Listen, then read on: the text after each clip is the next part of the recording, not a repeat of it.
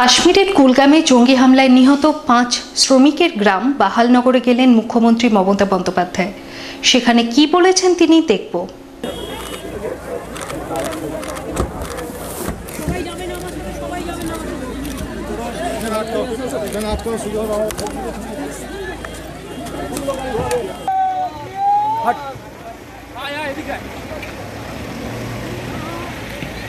লোক কোথায় যাবে আসতে এখানে লোক কোথায় যাবে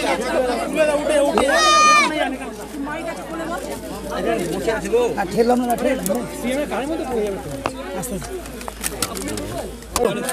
ছাড়লে কেমন মারা আছে মারা আছে একটু করে পিছিয়ে চলো। প্লিজ পিছিয়ে আসুন প্লিজ পিছিয়ে আসুন প্লিজ একটু করে পিছিয়ে চলো।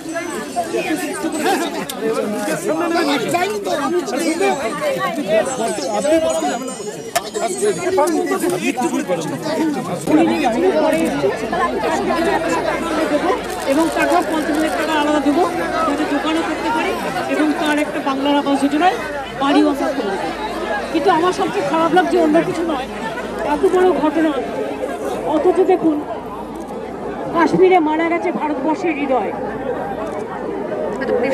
খোঁজও আমরা অন্যরা একটা খোঁজও পর্যন্ত নেয়নি। এটা খুব দুঃখের।